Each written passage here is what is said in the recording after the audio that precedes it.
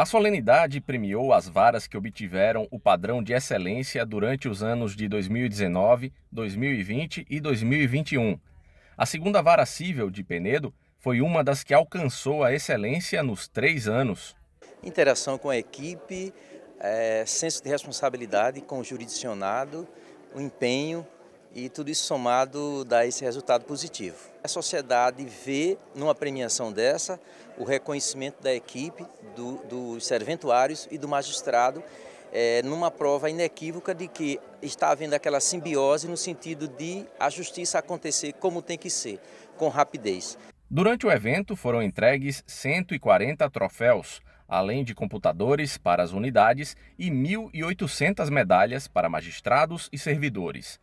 Os dados estatísticos são aferidos pela Assessoria de Planejamento e Modernização do Poder Judiciário, a APMP.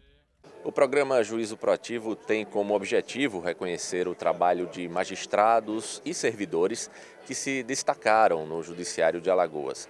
O programa visa ainda fomentar a gestão na busca pelo aumento na produtividade diminuição no tempo de julgamento dos processos e redução da taxa de congestionamento. É um incentivo mostrando que o Poder Judiciário reconhece o valor dos seus servidores, que é a base, o esteio do poder. E que eles saiam com a certeza que o Poder Judiciário, na minha gestão, reconheceu o trabalho de todos do servidor ao magistrado, ao dos pares desembargadores.